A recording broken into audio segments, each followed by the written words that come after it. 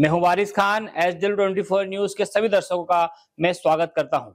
मध्य प्रदेश में मतदान के बाद अब हार जीत के आकलन का सिलसिला जारी हो चुका है। हमने आपको हमारे संवाददाता दिनेश दसोंदी के द्वारा तैयार की गई खरगोन ज़िले के मतदान प्रतिशत से जोड़े जा रहे राजनीतिक अनुमानों से जुड़ी एक रिपोर्ट दिखाई थी। इसी कड़ी में आज हम आपको खरगोन विधानसभा के मतदान और यहाँ बनते बिगड़ते समीकरणों पर एक रिपोर्ट दिखा रहे हैं। जैसा कि आप सब जानते हैं कि विधानसभा चुनाव के इतिहास में इस बार खरगोन ज़िले में रिकॉर्ड मतदान हुआ है। यानी पिछले आंकड़े देखे जाए तो ज़िले में पहली बार मतदान का प्रतिशत 80 के लगभग रहा है। खरगोन विधानसभा पर गौर करें तो कुल 11 प्रत्याशी मैदान में थे जिसमें अन्य प्रत्याशियों को छोड़कर मुख्य मुकाबला कांग्रेस और भाजपा के बीच ही रहा, क्योंकि यहाँ निर्दलीय के रूप में कोई बड़ा और दमदार चेहरा मैदान में नहीं था। यानी कुल मिलाकर खरगोन विधानसभा चुनाव का मुख्य मुकाबला भाजपा के बालकृष्ण पाटीदार और कांग्रेस के रवि जोशी के बीच ही सिमट गया। अब हम बात करें इनके बनते, बिगड़ते समीकरण और कयासों की। तो यहाँ भाजपा जाति और लाडलियों के वोटों पर अपनी जीत की आस लगाए बैठी है। तो कांग्रेस प्रत्याशी अपनी गहरी पेट, व्यवहार कुशलता और वचन पत्र के सहारे अपनी जीत का सेहरा तैयार कर रहे हैं। वैसे इस बार के चुनाव में महिलाएँ, जाति और वर्ग विशेष के वोटों की चुनावी नतीजे प्रभावित होने के आसार ज़्यादा लगाए जा रहे हैं।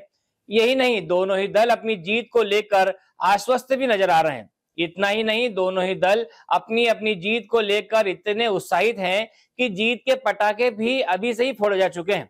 फ़िलहाल तो भाजपा के बालकृष्ण पाटीदार और कांग्रेस के रवि जोशी दोनों के समर्थक मतदान के आधार पर ही जीत का दावा कर रहे हैं और जब यह दोनों ही दल अपनी जीत का दावा कर रहे हैं तो निर्दलीय उम्मीदवारों की भूमिका क्या रहेगी?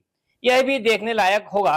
अब बदलते मौसम के साथ भले ही ज़िले में तापमान की गिरावट होती जा रही है, किंतु राजनीतिक पारा अभी भी उतार पर नहीं आया है। यानी कि मतदान के बाद अब जीत के अनुमान के आंकड़ों में खरगोन की राजनीति को गरमाए रखा है।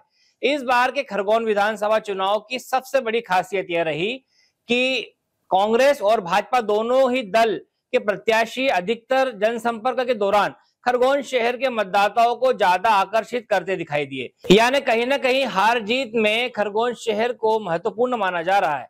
एक बात यह भी रही कि भाजपा ग्रामीण इलाकों में जनसंपर्क के दौरान ज़्यादातर हिंदुत्व के मुद्दे पर ज़ोर देती दिखी तो कांग्रेस प्रत्याशी रवि जोशी ने निमाड़ी में अपने भाषण देकर स्थानीय मतदाताओं को साधते रहे। इस दौरान दोनों ही नेताओं के पुत्र पुत्रियों ने भी बखूबी मैदान संभाला और अब मतदान होने के बाद प्रत्याशी भले ही थोड़े सहज होकर अपने परिवारों के साथ समय बिता रहे हों, पर तीन दिसंबर को आने वाले नतीजों की आहट ने कहीं ना कहीं उन्हें व्याकुल और बेसब्र कर रखा है। और यह बेसब्री और उत्सुकता केवल प्रत्याशी और कार्यकर्ताओं में नहीं, हम आप में भी है और आप सभी बड़ी बेसब्री के साथ आने वाले नतीजों का इंतज़ार कर रहे हैं। खरगोन ब्यूरो से दिनेश दसोंदी की रिपोर्ट।